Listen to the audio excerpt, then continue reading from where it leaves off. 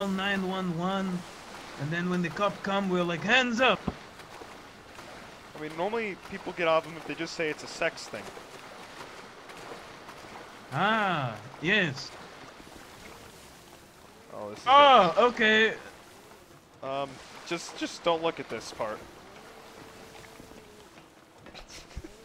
Jesus, you've got monstrous thighs. Yes, my my workout regimen is truly, truly